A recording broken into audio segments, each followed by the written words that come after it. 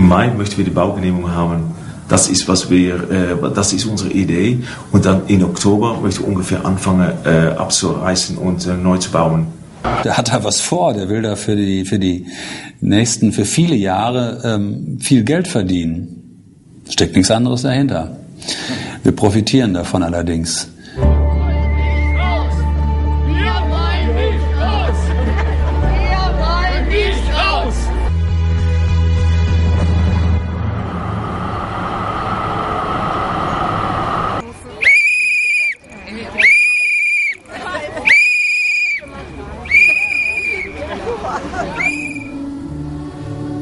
Unser Film beginnt Weihnachten 2011.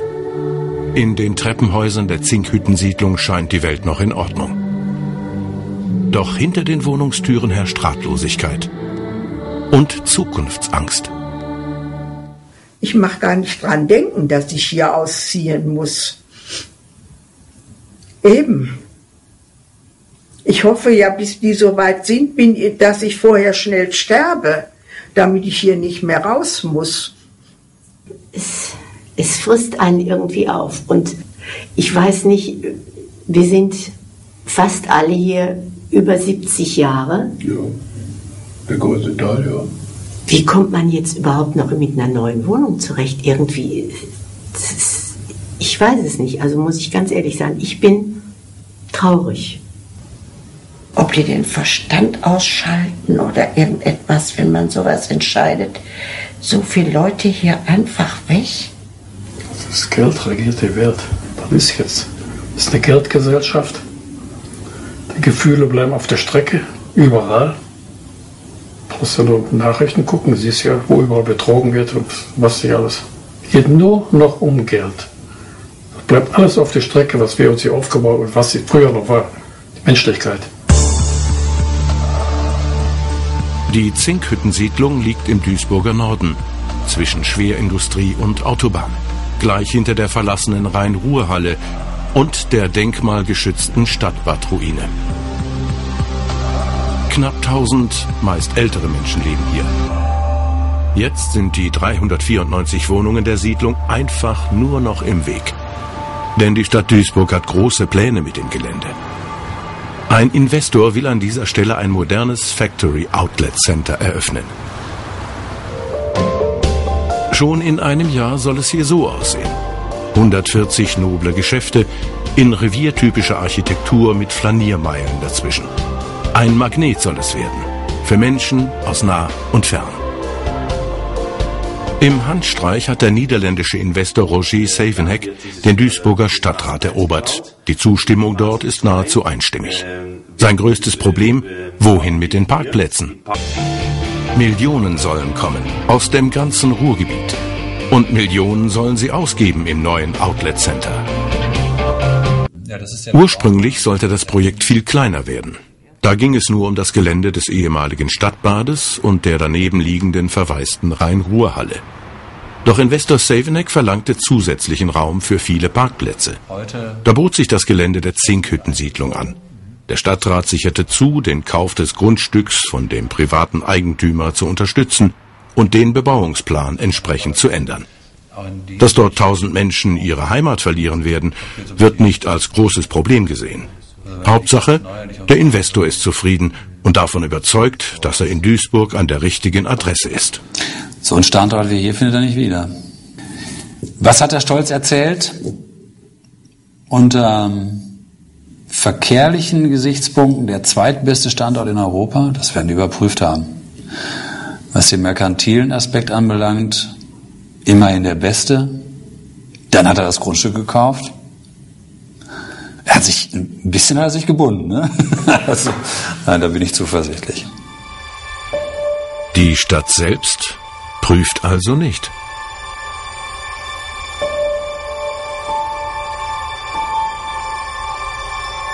Ende Januar 2012.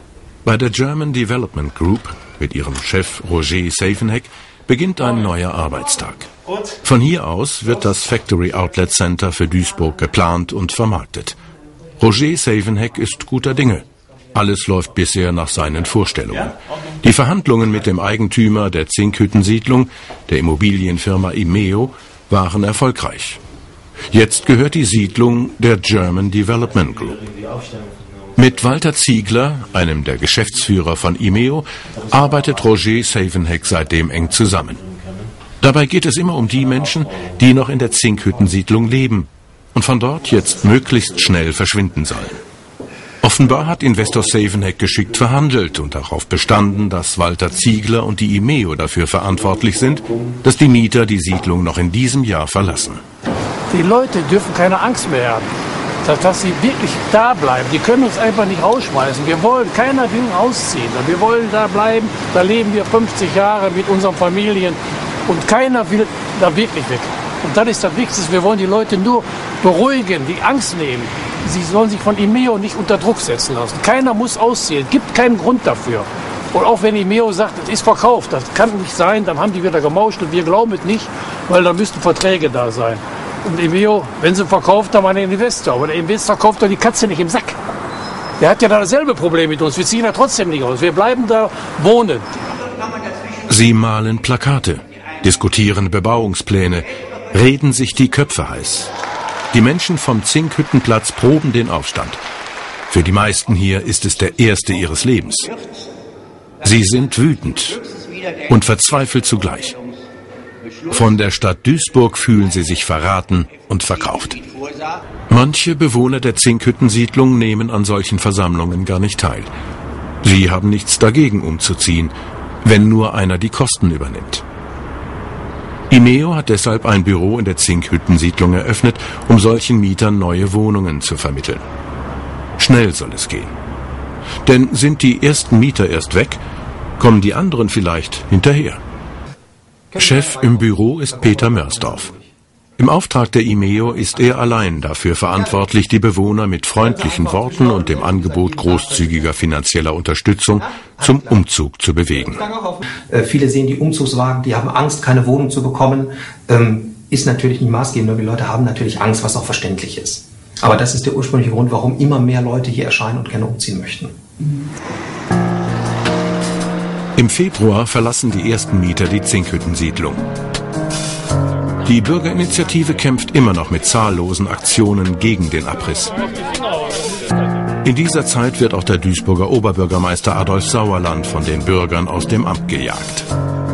Die Amtsgeschäfte übernimmt Stadtdirektor Peter Greulich. Anfang März findet die erste offizielle Bürgerbeteiligung zur Planung des Outlet Centers statt. Roger Savenheck erträgt dort alle Kritik mit stoischer Gelassenheit. Er ist sich sicher, die Zeit arbeitet für ihn. Es ist Projektentwicklung und es ist kein, äh, es ist kein Gambling, aber wir, äh, wir sehen das eigentlich äh, doch als eine sichere Sache, dass wir das äh, durchziehen. Die Presse aber berichtet mit viel Sympathie für die Bürgerinitiative. Die Stimmung im März ist gegen das Outlet Center. Ein Alarmsignal für Peter Greulich, den neuen Oberbürgermeister in Vertretungsstellung. Er erklärt sich bereit, uns zu zeigen, warum er das Factory Outlet Center unbedingt haben will. Er führt uns in die dunkelsten Ecken von Duisburg, dorthin, wo der Verfall der Stadt am sichtbarsten wird. Hier in Duisburg-Bruckhausen ist es nicht schön. Der Bagger reißt das Elend ab. Statt verfallender Jugendstilfassaden soll hier künftig ein Grüngürtel das Klima verbessern. Hier gab es keinen Investor und für Greulich deshalb auch keine Zukunft. Hier haben die Leute vor Ort mit den Füßen abgestimmt. Die Wohnverhältnisse, die Lebenssituation, die gesundheitliche Situation war so schlecht, dass die Bevölkerung schrittweise abgewandert ist. Was geblieben ist, sind leerstehende Gebäude. Die Sanierung dieses Stadtteils hier ist allerdings auch nicht reibungslos verlaufen. Auch hier haben die Bewohner um ihre alte Heimat gekämpft und verloren. Peter Greulich ist deshalb hier nicht überall willkommen. Für den Sprecher der alten Protestbewegung ist er noch immer ein rotes Tuch. Und Sie trauen sich noch hierher. Ja, warum soll ich das nicht tun? Ja, weil Sie das zu verantworten haben. Natürlich, das weiß ich. Ach, und Sie wissen, dass hier Leute aus ihren Häusern vertrieben werden. Haben Sie auch zu verantworten? Also was ich weiß, dass Ja. ganz, ganz viele Menschen von alleine und gern gegangen sind, weil sie Ja, klar, von die alleine. hier existieren, Die Sie geschaffen haben. Sie, die hier schon seit Ewigkeiten. Sie haben die geschaffen. wohnen.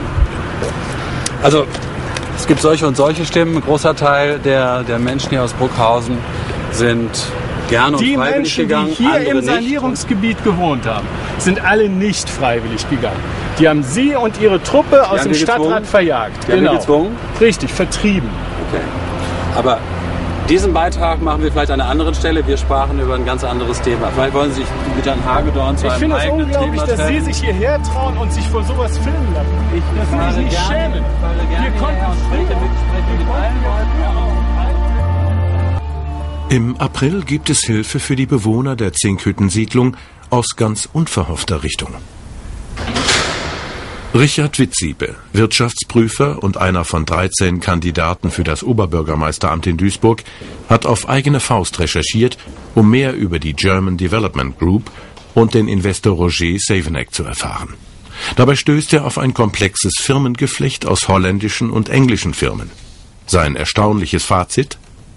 Man tritt hier auf wie ein riesengroßer Investor, der große Erfahrung hat und sozusagen für den es überhaupt gar kein Problem ist, so ein 100 oder 130 Millionen Euro Projekt zu stemmen.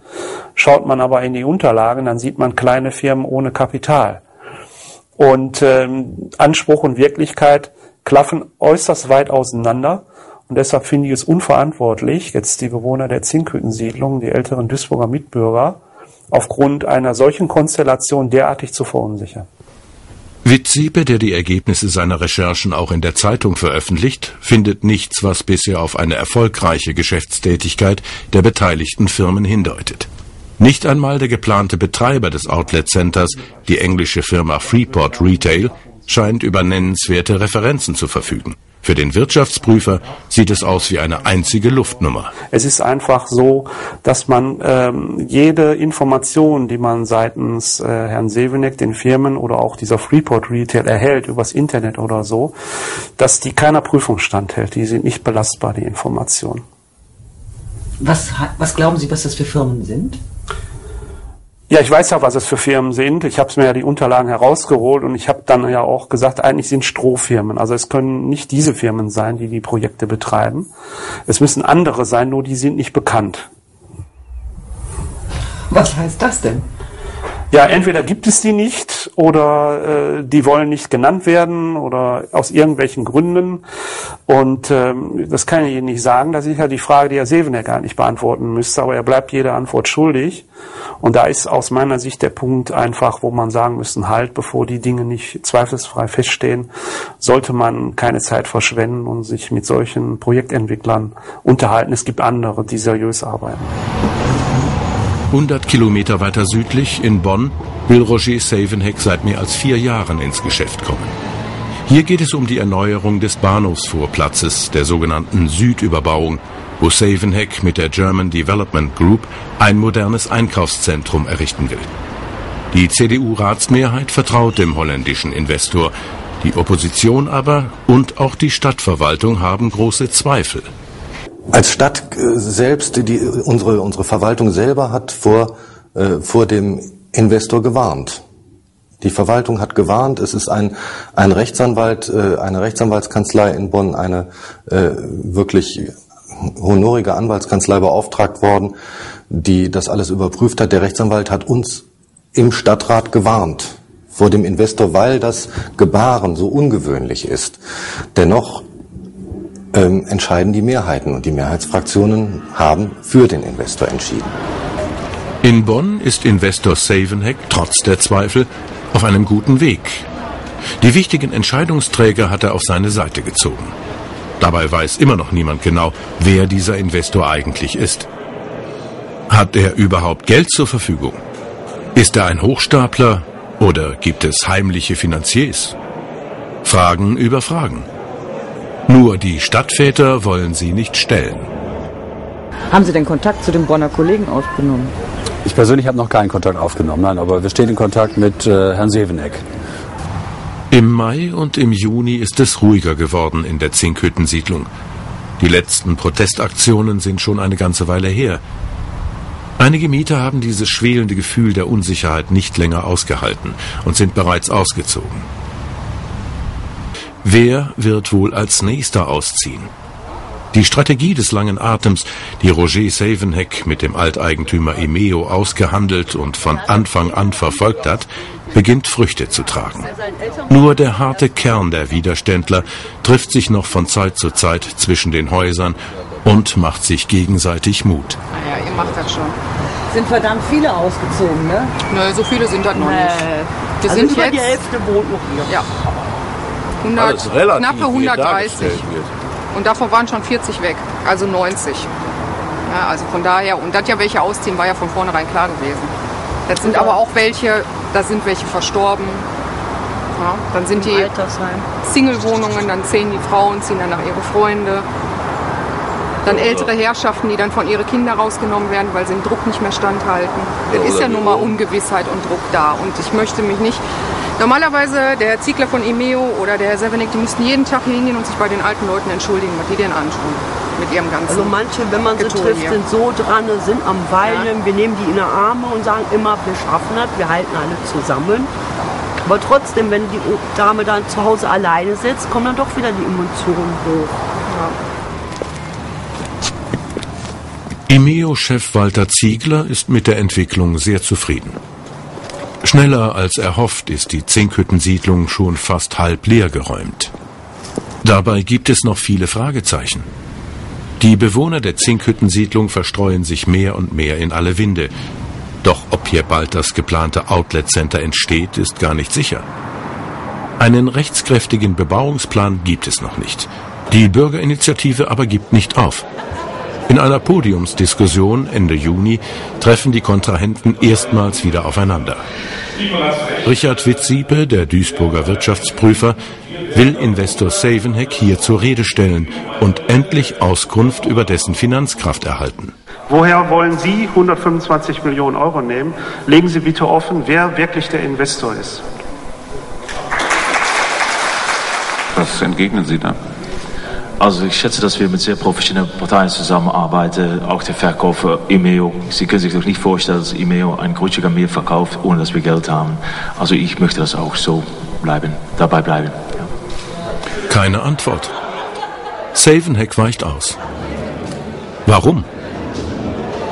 Am Ende der Veranstaltung wollen wir da noch einmal nachhaken. Wieso wehrt sich Investor Savenheck nicht gegen den massiven Vorwurf, gar nicht solvent zu sein? Also lass es so sein, wir, wir treffen Maßnahmen, wobei wir, äh, wir uns selber äh, sagen, wir, absichern, dass so etwas nicht mehr über uns gesagt wird. Sie können sich vorstellen, wir sind, äh, äh, wir, wir sind Investoren, äh, wir, haben, wir haben das Geld, aber es ist nicht so, dass wir alles in ein Projekt am gleichen Moment reinsetzen. Das macht am Moment, dass das Projekt mehr Geld braucht. Und zurzeit braucht das, Geld, äh, braucht das Projekt kein Geld, das braucht es erst am Moment, dass wir tatsächlich das Projekt qualifizieren.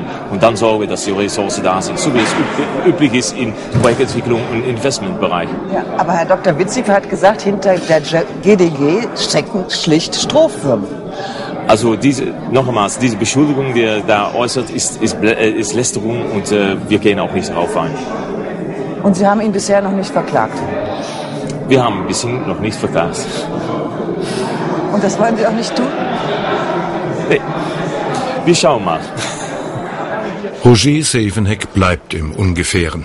Die Dinge entwickeln sich gut in Duisburg. Warum sollte er seine Taktik ändern? Die übrig gebliebenen Mieter in der Zinkhüttensiedlung sieht er nicht als großes Problem.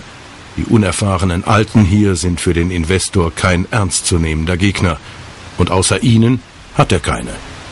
Bis zum Sommer 2012. Da beginnt ein anderer älterer Herr gegen Roger Savenheck in Stellung zu gehen. Walter Brune aus Düsseldorf. Der 86-Jährige gilt als engagierter Stadtplaner und zugleich als ausgewiesener Shoppingcenter-Experte. Dutzende davon hat er selbst in seinem Leben entworfen, darunter die berühmte Kö-Galerie und die Shadow-Arkaden in Düsseldorf. Inzwischen ist er zum scharfen Kritiker von Einkaufszentren auf der grünen Wiese oder am Stadtrand geworden. Damit werden die Innenstädte systematisch zerstört, schreibt er auch in seinem Buch Angriff auf die City. Über das geplante Outlet Center in Duisburg ist Brune geradezu entsetzt. Auch die Entscheider, auch die Politiker werden getäuscht. Die, die, wissen nicht, was sie da tun. Ich kann nur sagen, man, dieses Wolf im Schafspelz, der sich da mit einem Outlet Center einnistet, eine Stadtrand von Duisburg, ist das Ende dieser Stadt. Das ist wirklich nicht oft so. Und Sie können es nicht wieder ändern. Das ist nicht reversibel. Das ist einfach da. Das bleibt da. Walter Brune hat Briefe geschrieben an die Politiker, will seinen Einfluss geltend machen, um Duisburg noch vor dem Outlet Center zu bewahren. Und wenn man dann sagt, ja, Duisburg braucht Geld, ja. Wer ist denn die ärmste Stadt in, in, im Ruhrgebiet? Wer hat denn die größten Schulden? Wer kommt am schlechtesten zurecht? Oberhausen, die das größte Center haben. Die geht's am schlechtesten in der, in der Finanzkasse. Also die sollen doch nicht erzählen, dass sie dadurch mehr Geld kriegen. Im Gegenteil. Denn die guten Geschäfte, die eingesessenen Geschäfte der Innenstadt, die zahlen ihre Gewerbesteuer 100 in Mülheim, in, in, in Duisburg. Während die Geschäfte, die jetzt da reinkommen, ein großer Teil wird ja ergänzt durch Filialisten. Und die Filialisten haben ihre Hauptverwaltung in Wiesbaden oder in Berlin oder in Hamburg. Die zahlen einen Anteil aus, gibt es eine Quotenteilung da, auch einen Anteil, aber und, über, unterm Strich viel weniger als der eingesessene Laden in der Innenstadt. Das heißt also unterm Strich, wenn sie weniger Arbeitsplätze haben und weniger Steuern haben. Und das Ganze ist also wirklich eine Betrugsmaschine größter, größter, größter Ordnung. Ist eigentlich die Leute müssen bestraft werden, nach meiner Ansicht. Den Leuten die Heimat zu nehmen, die zu Hause zu nehmen, wo sie sich glücklich fühlen, wo die schön wohnen, wo sie alles haben, was sie zum Leben brauchen. Durch den Einsatz von Walter Brune dreht sich die Stimmung in der Siedlung wieder. Der alte Kampfgeist ist plötzlich wieder da. Im August sind die verbliebenen Mieter am Zinkhüttenplatz wieder näher zusammengerückt. Neue Aktionen werden geplant, Strategien entworfen. Horst Niefzols Müdigkeit ist verflogen. Im Vergleich zu Weihnachten 2011 fühlt er sich jetzt den Herausforderungen viel besser gewachsen. Voriges Jahr waren wir ein bisschen geknickter noch, war alles noch so frisch. Man hat sich noch nicht so reingearbeitet in die Sache. Ne? Äh, man ist noch ziemlich dumm gewesen, unerfahren in allem überhaupt, weil wir ja nur äh, negativ, immer drauf, immer drauf auf uns und wir wussten uns noch nicht zu wehren. Jetzt mittlerweile haben wir uns ja ein bisschen durchgearbeitet und haben auch Hilfe von außerhalb. Ähm, das, das bringt ja viel auch, ne? wo man sich dran festhält. Das ist wie so ein Strohhalm. Ne? Seine Internetaktivitäten haben ihm allerdings Ärger eingebracht. Investor Savenhack fühlte sich beleidigt. Ich habe den Savenhack Gaskop genannt oder Käskop, habe meine 250 Euro Strafe bezahlt, der wollte ja 750 haben. Herr Seeven ja. hat Sie verklagt. Ja, wo habe ich denn? Irgendwo habe ich die Unterlagen, wo habe ich die jetzt beim Anwalt noch liegen? Ja, ja, der hat mich verklagt hier äh, über seine Anwälte, die haben wieder so ein dickes Ding geschrieben. Das habe ich, die Seite habe ich auch schon gelesen. Das stand, der habe ich mal zufällig geschrieben, der Kirskopf war hier oder irgendwann, ich weiß es gar nicht mehr, was das war. Jedenfalls ist das eine Beleidigung. Das ist aber schon hart, ne, dass er Sie verklagt hat und Herrn Dr. Witz-Siepe, der gesagt hat, Herr Sebenheck hat nur Strohfirmen, hat er nicht verklagt. Ja, ist irgendwie äh, gehe ich dem wohl zu, zu sehr am Sack mit meiner Internetseite, vermute ich mal. Gute Stimmung auch beim Ehepaar Vibus.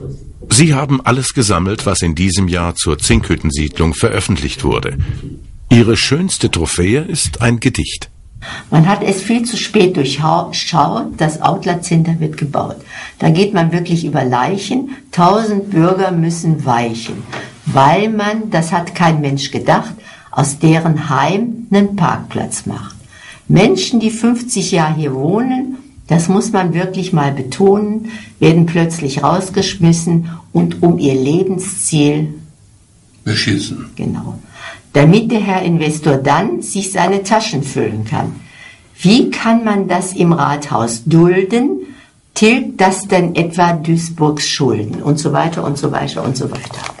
Wie sieht das für Sie aus? Wollen Sie jetzt ausziehen oder wollen Sie bleiben? Wir bleiben. Ein kleines Grüppchen ist noch und ich würde sagen, wir bleiben. So, ja. ja, wir haben, wir, ist egal, wir haben uns schon einige Wohnungen angeguckt, aber wir sind immer zu dem Schluss gekommen, wir haben nicht das gefunden, was wir gesucht haben. Das stimmt. Still ist es, wie immer in der Wohnung von Ursula Masseling. Rummel um sich herum kann sie nicht leiden. Und umziehen will die menschenscheue 82-jährige Dame schon gar nicht. Ja, wenn man so alt ist, sich irgendwo neu einleben, das ist nicht so einfach, wenn man nicht gerade äh, himmelhoch jauchzend immer auf die Leute zugeht, nicht? Und ich bin auch nicht der Mensch, der jedem gleich um den Hals fällt und sagt, guten Tag, da bin ich, nicht? Bei mir würde es auch lange dauern, bis ich mich irgendwo eingelebt habe. Und Sie wollen sich nirgendwo an? Nee, ich will nicht mehr. Nee. Das will ich nicht mehr. Und Sie kämpfen jetzt auch dafür, dass Sie hier bleiben dürfen? Naja, wir unterschreiben die Briefe und wir machen ja immer Veranstaltungen da auf der Wiese. Naja, da gehen wir ja dann hin. Und zeigen denen, was wir wollen. Und Sie glauben, Sie gewinnen? Ich hoffe es. Die Hoffnung soll ja bekanntlich zuletzt sterben.